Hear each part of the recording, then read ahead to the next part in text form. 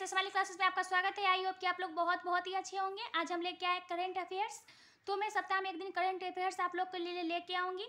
चलिए तो देखते हैं आज का पहला क्वेश्चन क्या इससे पहले अगर आप मेरे चैनल पर नए हो तो सब्सक्राइब ज़रूर करें ताकि मेरी सारी वीडियो आपको मिलती रहे। तो चलिए देखते हैं आज का फ़र्स्ट क्वेश्चन क्या है। तो आज का फ़र्स्ट क्वेश्चन है, अल्पसंख्यक मामलों के मंत्रालय का अतिरिक्त प्रभार किसे मिला है? तो अल्पसंख्यक मामलों के मंत्रालय का जो अतिरिक्त प्रभाव है, वो स्मृति ईरानी को मिला किसे मिला स्मृति ईरानी को। नेक्स्ट क्वेश्चन है, हाल ही में एसबीआई जनरल इंश्योरेंस के एमडी और सीईओ कौन बने हैं? तो ये जो सीईओ बने हैं एस के, जनरल इंश्योरेंस के, वो है परितोष त्रिपाठी, ठीक है?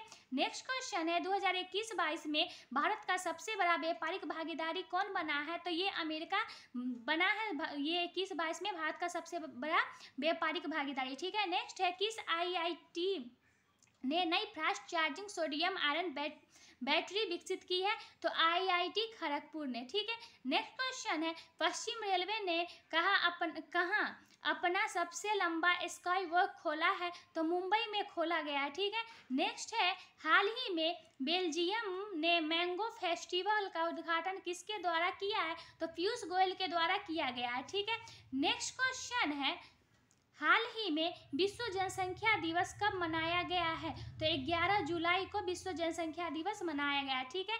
नेक्स्ट क्वेश्चन है national high speed rail rail corporation limited ने के एम डी कौन बने हैं? क्या कह रहा है कि national high speed rail corporation limited के एमडी कौन बने? तो राजेंद्र प्रसाद बने। ठीक है? नेक्स्ट है, किस कंपनी के पूर्व अध्यक्ष बी के सिंघल का निधन हुआ है? तो बी एस एन एल के।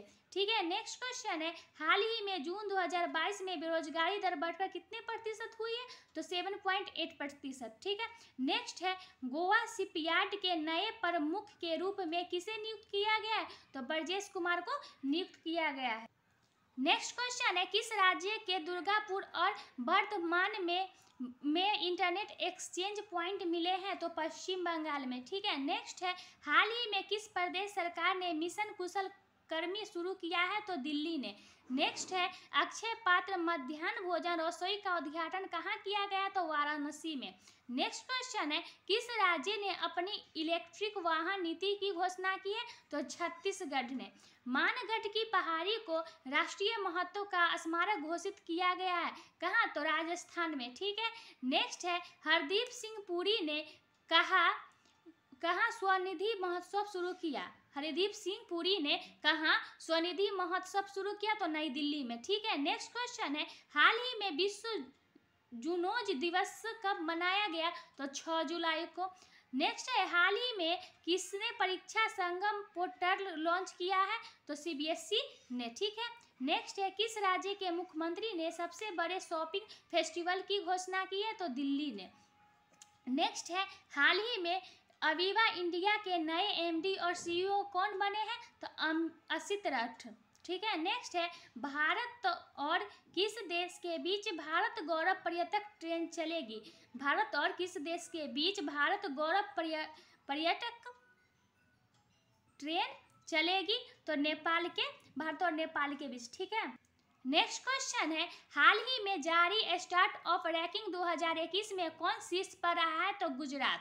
नेक्स्ट है, अल्लूरी सीताराम राजू की एक जयंती कब मनाई गई तो 4 जुलाई को। नेक्स्ट है, हाल ही में 2022 मलेशिया ओपन पुरुष एकल खिताब किसने जीता था तो विक्टर एक्सलेसन। किसने जीता था? विक्टर एक्सलेसन, ठीक है?